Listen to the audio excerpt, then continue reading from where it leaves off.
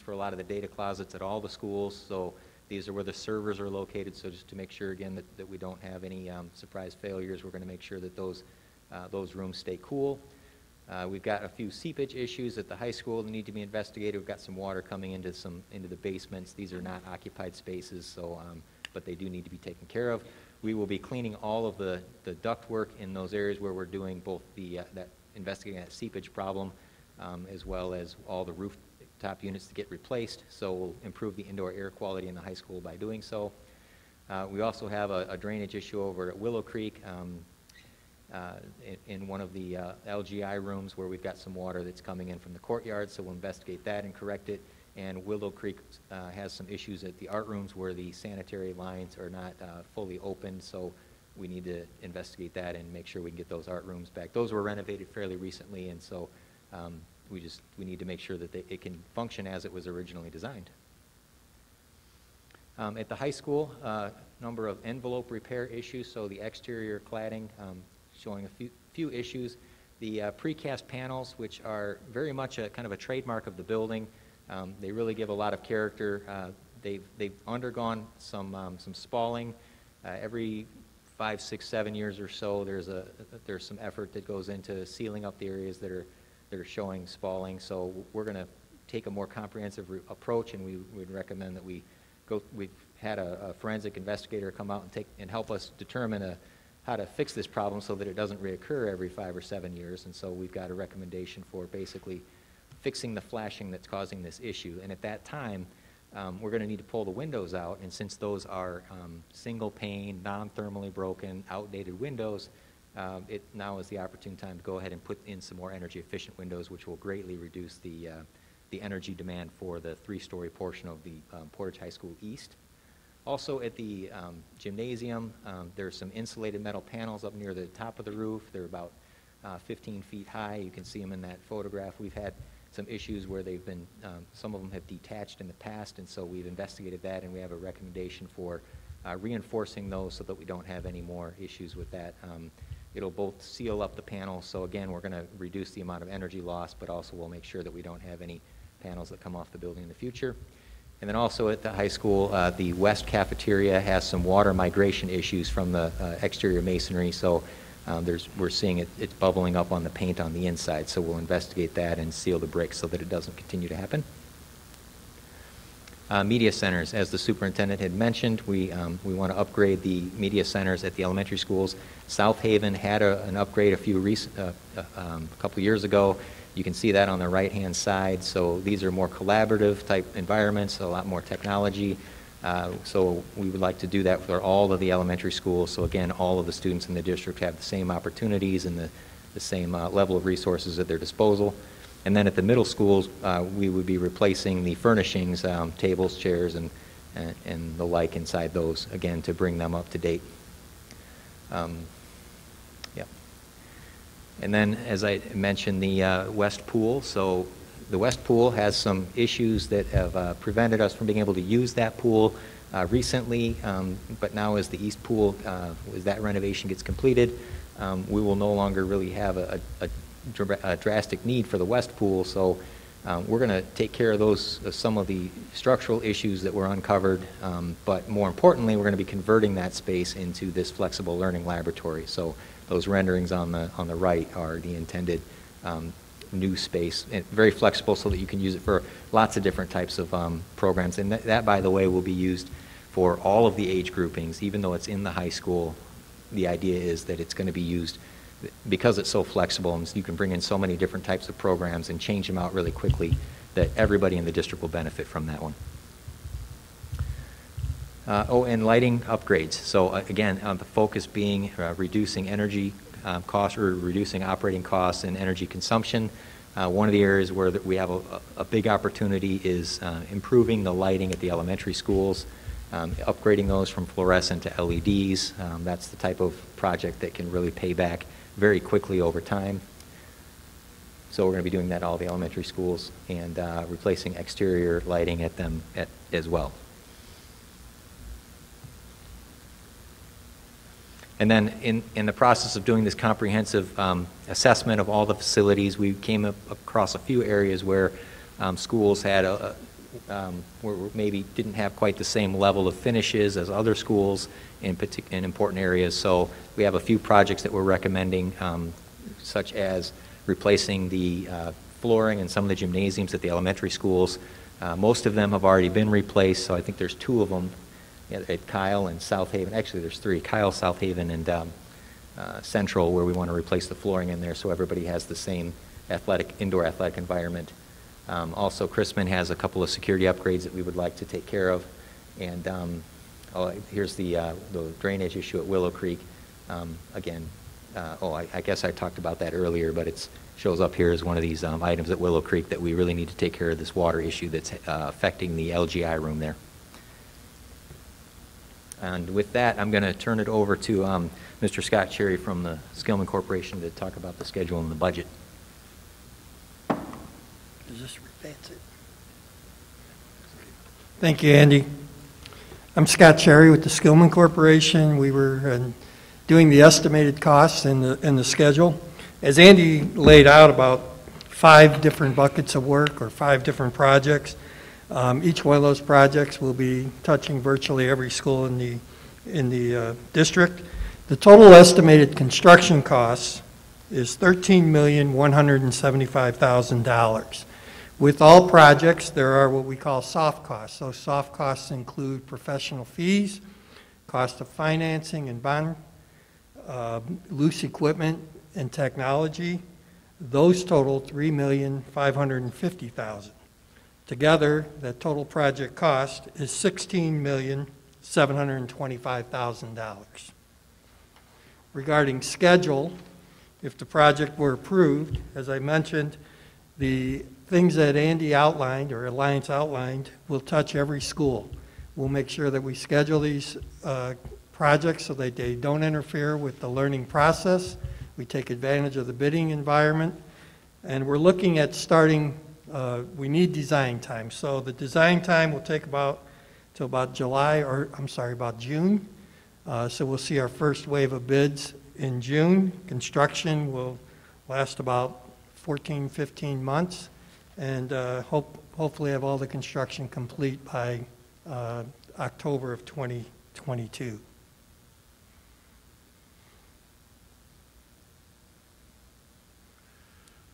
Thank you. We'll now hear from uh, Baker Tilly, our municipal advisors, uh, on how the proposed project will be financed, as well as information about the effect of the typical property taxpayer. Thank you very much, Mr. President and uh, members of the board, Dr. Alaniz. Uh, I'm Jason Tansel with Baker Tilly, and we serve as the school corporation's municipal advisor. Now that you've had the opportunity to hear about some of the projects being discussed here tonight and the need within the school corporation, it is uh, my role to explain the financial impact of what issuing $16,725,000 of bonds would have to Portage Township schools. Uh, Within the resolutions before you tonight, there are certain financial characteristics, and within those characteristics, there are maximums that we are establishing. And these are maximums that we cannot exceed, but we can come down from. Uh, These include items such as borrowing amount, repayment term, maximum annual payment, and interest rate. Uh, However, a key takeaway from our presentation is that uh, the school corporation has positioned itself uh, to be able to take advantage of its current debt service structure so that they could potentially take on these projects without seeing a debt service tax rate increase. So again, uh, we would not be estimating a debt service tax rate increase should the school corporation choose to pursue these projects. I have four slides uh, here, uh, starting on slide 17, that will detail out uh, how the school corporation will be able to do this. Uh, But before I go and do that, I just also want to make mention that we have some of these uh, required, uh, these char- financial characteristics that are required to be available by the code should anybody from the public ask for them. So here on slide 17 is a snapshot of the school's already outstanding debt service payments. And I want to spend a little bit of time on this slide because it will uh, explain how the school corporation can take advantage of its current position. Uh, Currently, the school corporation has annual payments outstanding of about $7 million. And you can see each individual bond uh, illustrated there with its own individual payment. However, payments are decreasing from 2021 levels uh, all the way through final maturity of all bonds by 2028. And this is an advantageous position for the school corporation to be in because these bonds are payable from the debt service fund. And to the extent that debt service payments are rising or falling, we would also estimate a correlating rise or fall with the tax rate.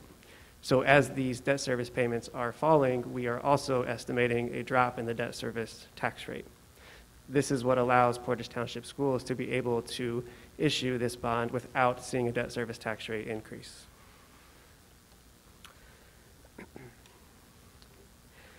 Slide 15 is a visual of the same information that you've seen on slide 14, but uh, I personally feel as though the graph sometimes illustrates the point better of each individual bond having its own color, but in total, you can see the step downs in payments in every single year from 2021 until 2028 when all bonds are mature. Slide 16 is a table of the financial uh, characteristics within your resolution tonight. As being discussed, the borrowing amount is $16,725,000, of which $16,425,000 will be available for hard and soft project costs. The estimated repayment term is 12 years, but the maximum that we are establishing is 15 years, and that is for flexibility down the road. The interest expense is based upon current rates plus 1, and right now we are estimating that to be uh, just shy of $3.7 million. The maximum annual payment within your resolutions is 3,878,000, and the tax rate associated with that is 18.91 cents. The 2021 certified debt service tax rate was 31.24 so that is why we are estimating no increase to the debt service tax rate.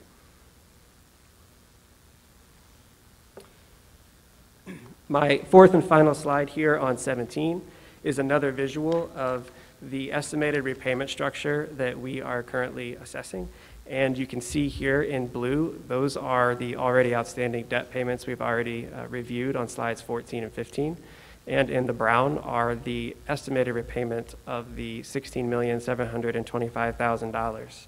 So you can see that we are maintaining the school corporation's flexibility uh, down the road as well with the declining payments, but that we are not estimating a debt service tax rate increase in 2022. With that, I'll turn it back over. Thank you, Jason. We will now open the public hearing. Remember, if you would like to speak, please sign in on the sheet which is located with Attorney Elwood or email ptscommunications@portage.k12.in.us.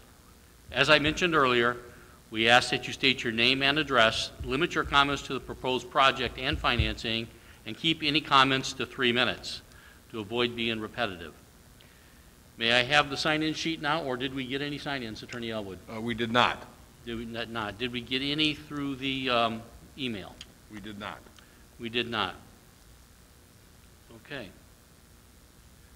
Is there anyone else here who would like to speak on the project? Okay, hearing none. We will, let's see, I guess we will continue on. So, Our bond counsel, you want to explain the uh, project resolution? The project resolution is required when any school district plans to spend more than $1 million on a select building. It contains the estimated hard and soft cost of construction and a number for cost of issuance and establishes the total project cost. It also contains the estimated tax impact. Thank you. Do we need to read that resolution publicly? We do not. Okay. You guys are off the hook. Well, then, Can I have a motion um, to adopt the project resolution? I make a motion to adopt the project resol- resolution. Second? We have the motion and a second. Any discussion? Hearing none, call the roll, please. Trustee Finley? Yes. Trustee Vasquez, yes. Trustee Maleta? Yes. Trustee Wolke? Yes. Okay. Uh, Next, our preliminary determination resolution. You also have before you a preliminary determination resolution, which is required when a school corporation is planning to finance more than a certain threshold for facilities. It contains, again, the total project cost, the maximum annual payment and the lease term, and other financial terms such as the estimated principal amount and the tax rate impact. Thank you. Can I have a motion to adopt the preliminary determination resolution? I'll make a motion to approve the preliminary determination resolution. Second? We have the motion and a second. Any discussion? Hearing none, call the roll, please. Trustee Vasquez, yes. Trustee Maleta? Yes. Trustee Wolke? Yes. Trustee Finley? Yes. Okay. Next is our reimbursement resolution. You also have before you a reimbursement resolution. Reimbursement resolutions permit municipal entities to reimburse themselves from bond proceeds for any cash it may expend prior to the issuance of the bonds. This resolution is required under federal tax regulations. Do we have a motion to approve the, and adopt the reimbursement resolution? I'll make a motion to approve. I'll second. You have the motion and a second. Any discussion? Hearing none, call the roll, please. Trustee Maleta? Yes. Trustee Wilkie? Yes. Trustee Finley? Yes. Trustee Vasquez, yes. So this concludes and closes our public hearing. Thank you. It's going to be exciting projects, Yes. much needed and very exciting for our district. So thank you, everyone, for all the Thank you. hard work you've put in up to this point. Um, And I'm anxious for the, uh, as the rest of the board, for our next steps in uh, moving forward. Absolutely. President Maleta, if we could just allow them one chance to start heading home. I know most of them are coming from pretty far, and with the weather, if you guys want to head out, we appreciate everything, and safe travels on your way home. Yes, thank you for being here tonight. Thank you. Bye. Thank you.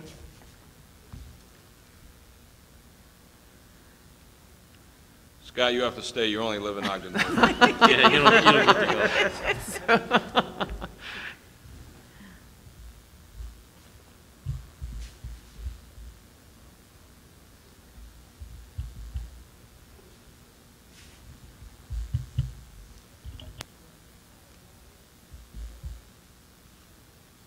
All set?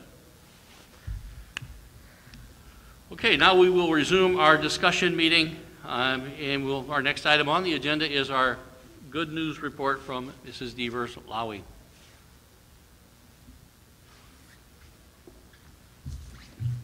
Good evening. Tonight we are celebrating the achievements of our Portage High School students. First, we would like to recognize Portage High School senior Holly Helt, who has been named the Class of 2021 Distinguished Young Woman. After the pandemic canceled plans for last spring's scheduled competition, a team of teachers selected Holly to represent Portage at the state competition later this month. Holly is currently preparing her materials for the virtual state competition. She recently presented Be Your Best Self to our first grade students at Aylesworth Elementary, where Holly explained how everyone can live their best life and be their best selves. This is a project that makes you smile. The dental vocational students at Portage High School made t shirts and sock puppets for Operation Smile, an organization that provides surgery and speech therapy for children born with cleft lips and palates. The children will use their shirts as hospital gowns, and the sock puppets will be used during speech therapy. Their kindness and generosity is outstanding. Next, Portage High School senior Jasmine Garrido has been awarded the 2021 Lilly Endowment Community Scholarship. The award covers tuition, related fees, and books at an Indiana college or university for four years. Just 143 scholarships are awarded in Indiana each year.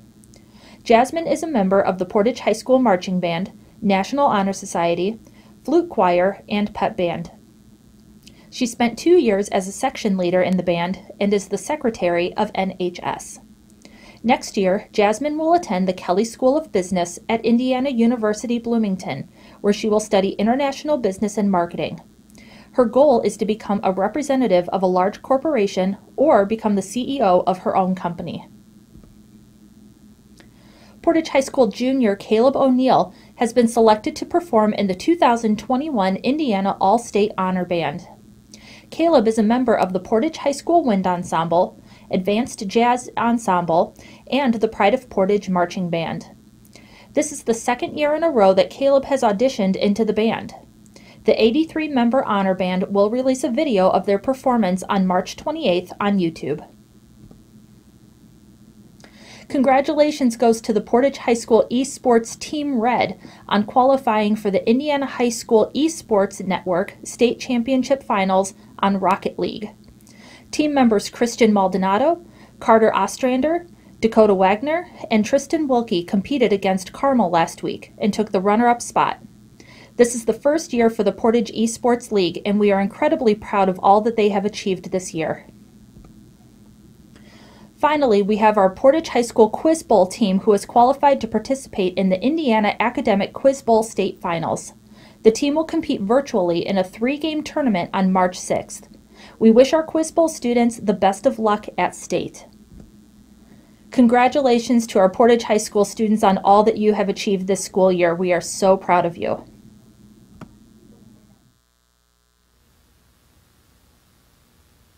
Thank you. What a great report. It's exciting to see in the midst of the pandemic that so many great things are still going on in our, in our schools and kids are getting to participate in so many things. Uh, At this time, are there any adjustments to the agenda by the board? Not? Okay, we'll move on to our superintendent's consent agenda, which contains the personnel report from February 9th, 2021, the donation report for February 8th, 2021, and our facility use request report. Do you have a motion to approve the superintendent's consent agenda? I make a motion to approve the consent agenda. I'll second. We have a motion and a second. Any discussion? Call the roll, please. Trustee Wilkie? Yes. Trustee Finley? Yes. Trustee Vasquez, yes. Trustee Maleta? Yes. Next, we have our board consent agenda, which has got the mi- meeting minutes from our special board meeting and public hearing for district projects from January 25th, 2021, minutes of the special board meeting Board of Finance from January 25th, 2021, and the minutes of our regular board meeting of January 25th, 2021. Do we have a motion to approve the board's consent agenda? I'll make a motion to approve. Second? We have a motion and a second. Any discussion? Call roll, please. Trustee Vasquez, yes. Trustee Maleta? Yes. Trustee Wilkie? Yes. And Trustee Finley? Yes. Uh, Next, we move on to board development, uh, board reports. Do we have any board reports today? I do. Trustee Vasquez, please. Uh, The Education Foundation, uh, just a reminder that the grant cycle is open to all Portage Township Schools staff. The proposals will be accepted until March 31st. We have our monthly meeting tomorrow. The food pantry, there will not be any distribution of meals on Thursday, this Thursday, due to the extremely cold temperatures. The amount of food items that was distributed last week was uh, enough to last two weeks, maybe even longer. And the policy committee, trustee Wilkie, our superintendent, and I will be meeting next Thursday, the 18th, to review and revise some policies. I would say there are about 20 or Yeah. more. Mhm. That's it. Thank Great, you. thank you. Trustee Finley. And I do have just three updates. Um, Lots of stuff happened legislatively. At the federal level, we do have Miguel Cardona, who's going through the Senate hearing confirmation process. At the state level, we're having a a hoot of a time. Um, The session closes in April, which means there's a race to finalize a number of bills.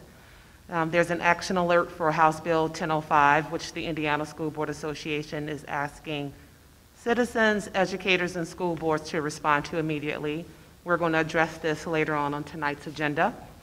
State House Day is tomorrow for school board members. It is a virtual event, and I plan to attend and have an update at our next board meeting. Locally, the state of, um, I'm sorry, locally, the city of Portage Redevelopment Commission has budgeted $100,000 to support Portage Township schools again this year in the form of a technology education grant this calendar year. So I wanted to make us, make you guys all aware of that. Great. And that's all I have. Great, thank you. Any other reports? Okay. We have no old business, we'll move on to new business. The approval of the notice of determination of preliminary determination advertisement. Do we have a motion to approve? Oh, I'll make a motion to approve the notice of determination of preliminary determination advertisement. Second? We have the motion and a second. Any discussion? Can you Call a roll, please. Trustee Vasquez, yes. Trustee Maleta? Yes. Trustee Wilkie? Yes. Trustee Finley? Yes. Excuse me. Bless you. Nothing worse than sneezing in a mask. Okay, next we have item 9.02, our recommendation and approval of Foods to Schools Agreement. Dr. Alaniz, can you explain? Yes, um, our Portage Township Schools uh, Food Service Division is requesting to renew the Food to School Purchase Cooperative Agreement so that we can uh, take um, part in the cooperative purchasing. This would be through July, uh, excuse me, it would be July 2021 through June 30th, 2022, and it would be our second renewal of a possible four years. So we'll have two additional opportunities to renew. Um, I have attached the agreement for your information. Okay, do we have a motion to approve the food to School Agreement? I'll make a motion to approve. Second? We have a motion and a second. Any discussion? I just want to say that this is great. Um, If we don't have this cooperative opportunity for our um, school district, um, we don't, we have higher costs. So thank you for the continued efforts on behalf of, be sure to tell Teresa the same. Thank you so much. Yes. Thank you. Any other discussion? If not, call roll, please. Trustee Maleta? Yes. Trustee Wilkie? Yes. Trustee Finley? Yes. Trustee Vasquez, yes. Next, we have our approval of the overnight field trip by the Portage High School wrestling team to Indianapolis on February 18th to, through the 21st, 2021. This, uh, of course, comes with congratulations to our Portage High School wrestlers who are sectional champ- champions. Uh, They did a great job um, and represented Portage High School and Portage Township Schools very well um, at regionals this past weekend, and we are asking for them to be able to have approval to travel downstate for the championship rounds for individual state. Thank you. Do we have a motion to approve the overnight field trip? I make a motion to approve the overnight field trip. A second? A motion and two seconds. Any further discussion? If not, call the roll, please. Trustee Wilkie? Yes. Trustee Finley? Yes. Trustee Vasquez, yes. Trustee Maleta? Yes. And good luck to our wrestlers. Absolutely. Next, we have our recommendation and approval of Resolution R5-2021, House Bill 01005. I'll read the resolution. Whereas the voucher expansion bills in Indiana are part of a long-term coordinated effort to diminish public schools, and Indiana's cumulative state spending for private school vouchers has now topped $1 billion. Whereas Indiana's spending of tax dollars on vouchers has increased exponentially, in 2011 to 2012, the state spent 15.5 million on vouchers. In 2019 to 2020, it was 172.8 million dollars. That's 11 times more than the initial expense. Whereas Indiana currently ranks 45th in the nation for total K through 12 education spending as a percentage of gross state product, and whereas Indiana's voucher system already deprives every public school system in Indiana of $172 per student, that means a school system of 6,000 students is losing more than $1 million a year. Whereas, according to legislators, the voucher program was created to help poor and minority children trapped in low-performing schools. The most recent statistics show that 57% of students receiving vouchers for the 2019 to 2020 school year were white, and 26% of voucher families have annual incomes of more than $75,000. Whereas Indiana has one of the nation's largest voucher programs, it does not need to expand again. And whereas the taxpayers of Indiana are currently paying all or part of private school tuition for families earning up to $95,000 a year. In Indiana's current voucher system, if a family qualifies for vouchers and their income increases, They remain eligible even if they make about double Indiana's median household income. This means that wealthy families with students already in private school would have their tuition bill paid for by all taxpayers, including low-income taxpayers. This comes from School Matters, March 5, 2018. Now therefore be it resolved that the School Board of Trustees of Portage Township Schools, one, continue to support Indiana Public Schools to the maximum degree as they have gone above and beyond to deal with the demands of the pandemic and as they face the challenges of making up for lost learning and providing additional services to our students. Oppose the expansion of vouchers because this system is funding thousands of families that could afford private schools without the help from taxpayers. These vouchers divert state dollars from the poorest and the neediest of public school students in order to give to the wealthiest. Encourage every public school family and every business conscious member of the public to protest the voucher expansion and discourage legislators from diverting scarce, scarce public education dollars. Passed and adopted by the School Board of Trustees this 8th day of February 2021. Do we have a motion to approve Resolution 5-2021? I'll make a motion to approve. Second? We have a motion and a second. Any discussion? Hearing none, call the roll, please. Trustee Finley? Yes. Trustee Vasquez, yes. Trustee Maleta? Yes. Trustee Wilkie? Yes. Will we be sending that resolution to our state legislators? Yes. Thank you. Okay, next we have our superintendent reports. Dr. Alaniz. Uh, I did want to share with you, um, in particular, an example. This is one of our weekend packs. These come prepackaged. They're fully reimbursable meals. They're shelf-stable. Um, Moving forward, these will be going home on the weekends. Every child, two uh, meals for breakfast and two meals for lunch. Um, Again, these are fully reimbursable, and we're taking advantage of the fact that, number one, uh, it does not take our personnel away from being able to pack the regular meals for the week for virtual students, or if we were to have to go on a short-term virtual for all in-person as well. It also doesn't take them away in the event that we have quarantines and things that we can't get to packing these meals. Um, They, again, are shelf-stable, so one great thing about this is also if a family is not in need for that particular time being, they can stock this away or use it how- however they see fit. It does meet all the nutritional guidelines as expected and outlined in um, the legislation, but I just wanted to share those with you. Couple of other items, oh, these are also, the, our regular meals, as you know, throughout the week are available for all children through 18 years of age. We continue to promote that, and that is also through the waiver. Uh, No child in the school district or across the state is being charged for meals, breakfast or lunch. Yes. So how are those distributed? On Fridays, they will go home with the children. Okay, and then the students uh, that have younger siblings? Um, That is a situation where they'll work with the school personnel, um, the school advisors, the counselors, to determine if, if there's additional bags that will be going home. Thank you. Mhm. Great.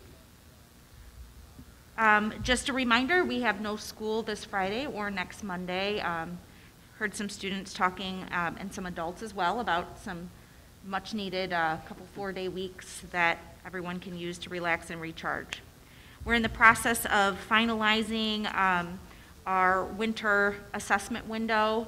Mrs. Williams does a good job setting all of that up so that the team can quickly analyze the data and be responsive to the instructional needs of our students, and I will be sharing that data with you once we have a chance to have all of our students tested and um, all of the data analyzed.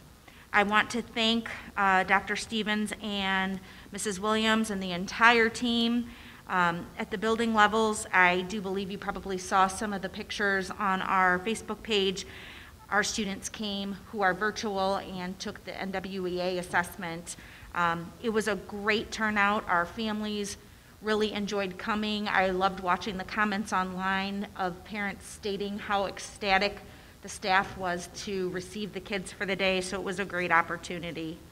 And again, a great opportunity for us to assess their learning and make sure that we're um, still meeting their educational needs as well. I continue to just want to thank all of our families, both virtual and in person, for all of their flexibility and hard work. Um, I do assure you that we are continuing to take the time and attention necessary for our virtual students, just as we are the in-person students. We are being very uh, conscientious of making sure those students' needs are equally being met. We've received a lot of positive feedback still for our Parent Square and our website. Um, It has been well-received. Parents feel like there's great communication. And again, as you've stated, the website, very user-friendly. So I want to thank everyone. And this evening, Mr. Ramian is here, who had a huge hand in um, getting that information onto the website and monitoring it for proper compliance ongoing. So um, I did pass along to, to Nate and Mrs. Devers Lowy when the board had sent their appreciation, but being that Nate's here, I think it's a good thing to, to let him know again. Um, I'm excited that we have facility use back up and running. Our community is excited for that as well. Uh, This, the health department has been very responsive to getting those plans back in a timely manner and giving the approval for those. So I think overall, it's been a great um, opportunity to get our community back into our buildings. Also, it's exciting, we have spectators now back into our events at 25%. So the kids, of course, are ecstatic for that, and um, families are as well. So we are moving in the right direction, um, receiving fewer and fewer emails of situations of quarantines, um, but of course, we're continuing to uh, be very intentional about our efforts with social distancing and our cleaning protocols and making sure that everyone is masked and staying safe. Thank you. Are there any items not on the agenda the board would like to discuss? Dr. Finley? Yes, um, I do want to follow up and piggyback on Dr. Alaniz's comments regarding the website, and thank you for your leadership with that, because that has to trickle down to the rest of the team. So um, I love that it's in different, multiple languages, not just different, but multiple languages. People can self-select and self-identify whether they fit, so thank you for that. Um, I do want to say out loud um, something that we can take leadership on as a community as, and as a school board as well. A hot topic right now um, throughout the whole entire state is why educators are not in the state's plan to vaccinate our educators. The federal government has labeled our educators as essential workers, but yet the state of Indiana has not included them in that vaccination plan. There is a letter circulating from the Indiana State Teachers Association asking state leaders to work with educators on fighting COVID. Um, I'm asking for support to sign this letter, which is circulating, contact our local legislators to share with them our desires, to support our educators, and we should probably discuss if there is more that we can do as a board. Um, our education we know is essential. We need to do something to communicate our support for our educators on this topic as well. Thank you. Great, thank you. Great point. Where do we find this letter to sign? Um, it's, it's stood through the Indiana State Teachers Association, and it's easy to find, so, Okay. um, hopefully we can find that and send it out. to I will everybody. absolutely send that out. Okay, great, thank you. Thank you. Any other items anyone would like to discuss? I would just like to say that I did miss uh, Mrs. uh, Devers Lowry's uh, presentations that we were getting on a regular basis, and um, I like the fact that she highlighted not only, you know, she, she covered, up- covered it all. You talked about the distinguished young woman, the scholarship from the Lilly Endowment, uh, music, athletics, and uh, just the, the competition, the academic competition. And I know it takes time and effort for her to put that together, but it just really warms my heart to see the accomplishments that our students are achieving, especially during this time. So thank you, if you would please uh, relay that message to, to Melissa, we really appreciate it. Thank you. Okay, did we receive any public comment forms today? I don't believe so. No, we did not. Okay, so our next meeting will be February 22nd at 5 PM. Uh, We will be back here again. So if no one has anything else, this meeting's adjourned.